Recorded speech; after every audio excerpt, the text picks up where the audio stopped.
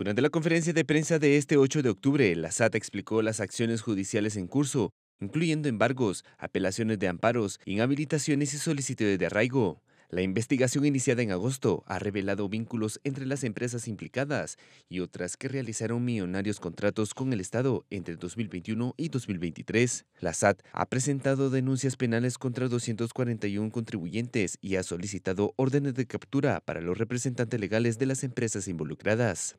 Hasta la fecha, 30 contribuyentes fueron inhabilitados del régimen de IVA, aunque algunos ya lograron su habilitación a través de amparos. Además, se han ejecutado embargos por más de 106.4 millones de quexales y 440 mil dólares en cuentas bancarias de las empresas vinculadas.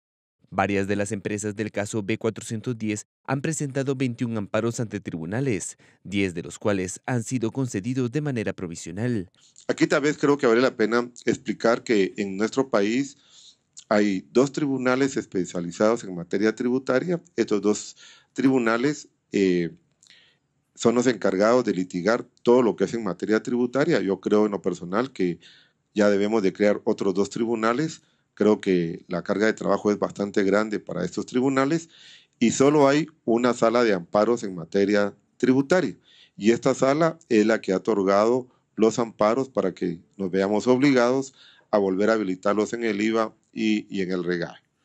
Así que aquí tenemos una discrepancia muy seria con la sala sobre las facultades que tiene la Superintendencia de Tributaria de deshabilitar a los contribuyentes en el régimen del IVA.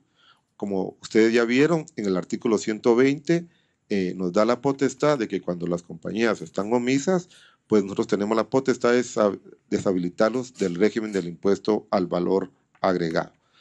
Y la ley orgánica de la superintendencia le da a la superintendencia tributaria, pues es el ente rector y le da las capacidades y menciona que el superintendente es la máxima autoridad en materia tributaria y aduanera del país.